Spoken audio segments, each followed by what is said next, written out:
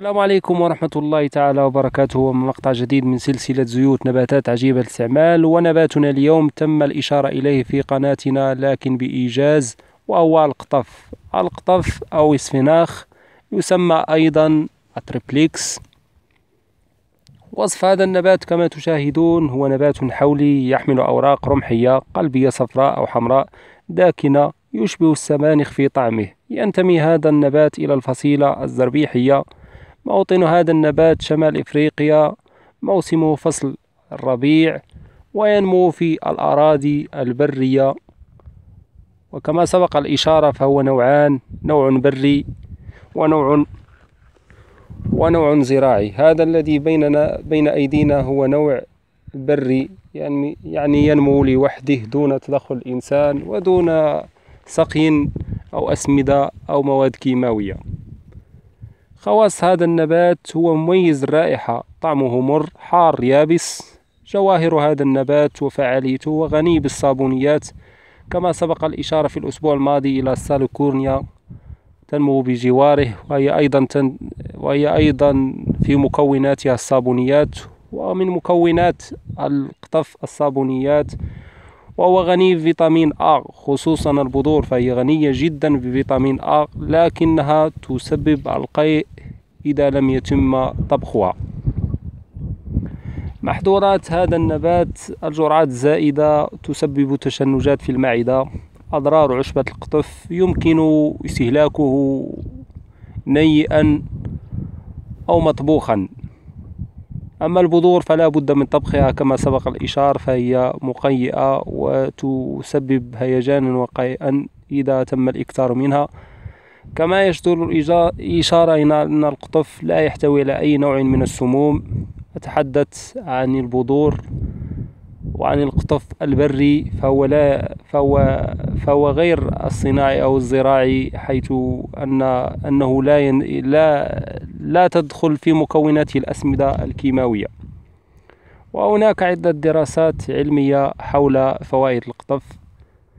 دراسة مخبرية تحدث نشرت سنة 2016 أن عشبة القطف تساهم بشكل كبير في مكافحة الميكروبات وتعزز جهاز المناعة لدى الإنسان حيث أنها تحتوي على الفلافونيدات وهناك دراسة أخرى علمية نشرت في أحد المجلات العلمية سنة 2009 تشير إلى أن مستخلص القطف المحضر بالميثانول يمتلك نشاطا مضاد للأكسدة بسبب ارتفاع محتوى الفلوفونيلات ومركبات الفلافونيد. وهناك دراسة أيضا نشرت سنة 2014 التي أجريت على فئران وهؤلاء الفئران بهم سكر سكر الدم وارتفاع سكر الدم حيث أن مستخلص حيث تم إعطائهم جرعات من مستخلص محلول مائي يحتوي على مستخلص لأوراق القطف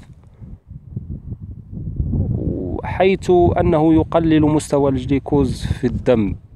وهذا النبات غني بمجموعة من المواد وهو جد فعال جدا حيث أن القطف مدر مدر بشكل كبير للبول. والقطف هام لنقص فيتامين A حيث أنه غني بفيتامين A.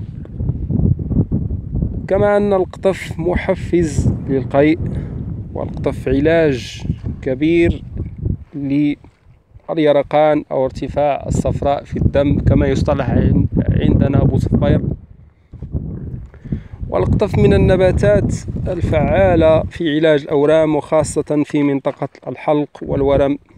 ويستخدم أيضا لعلاج النقرس. حيث أن القطف جد فعال لعلاج النقرس. كما يساعد على حرق الدهون المتراكبة وإنقاص الوزن.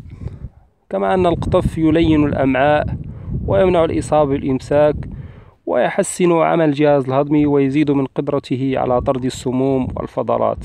كما أن القطف ينشط الجسم ويمنح الطاقة والحيوية والنشاط كما تمنع شرب مستخلص القطف من الإرهاق والتعب. كما أن القطف كمنقوع يساهم في تنشيط الجسم بشكل كبير كما تساعد في علاج الالتهابات والأورام والحمرار في الجلد فهو أيضا يستخدم بشكل خارجي إذا تم مزجه بكريم أو مرهم كيفما كان نوعه حيث يساهم في علاج الالتهابات والتمرمات والإحمرار في الجلد ويدخل في كما سبق الإشارة لصنع مجموعة من المراهم الجزيمة والآفات الجلدية كالتقيح الجلدي وغيره من الآفات التي تعترض الجسم. كما يعالج القطف أمراض الرئة والتهابات. كما يعالج القطف ويساهم في علاج العقم حيث يعالج مشكل العقم حيث أن من أبرز المشاكل التي تعتري النساء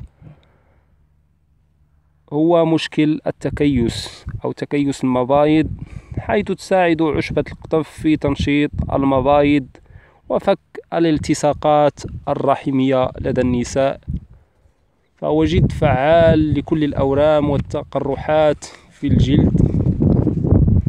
ويجدر الإشارة أننا في فصل الصيف وهذا الفصل ليس فصل قطف القطف إنما فصل الربيع. كما تشاهدون النبات ذابل وطريقة صحيحة لاستخدام القطف والاستفادة من فوائده ومركباته وفيتاميناته أنه يستخدم ك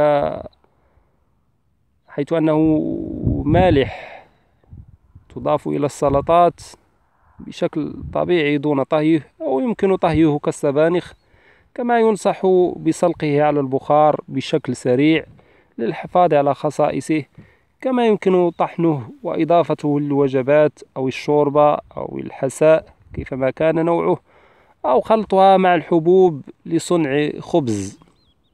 وينصح بإضافة قليل من الشومر إضافة قليل من السمسم حيث يعطي نكهة جد ممتازة في الخبز فهو علاج وغذاء طبيعي ومكمل غذائي. كما أنه يمكن شربه مباشرة بعد طحنه حيث ينصح بأخذ ملعقة صغيرة يوميا دون الإكثار منه دون الإسراف في استعماله يعني باعتدال. كما يمكن شربه مع الخل أو مع العسل ويمكن استخدامه كلبخات.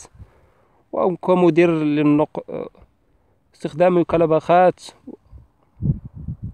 للنقرس والأمراض الجلدية التي سبق الإشارة إليها كما يمكن خلطه بالمراهم والإكزيما والكريمات للقضاء على الإكزيما خصوصا الإكزيما فهو جد فعال لها كما ينقع ويصفى ويشرب منقوعه. يسمى أيضا هذا النبات نبات ملحي فهو مالح في طعمه حريف وهو مقاوم للجفاف والملوحة حيث يطلق عليه كما سبق الإشارة النبات الملحي فهو ينمو في الأراضي الجافة كما تشاهدون. أراضي جافة ونادرا ما يصلها الأمطار إلا أمطار الغيث.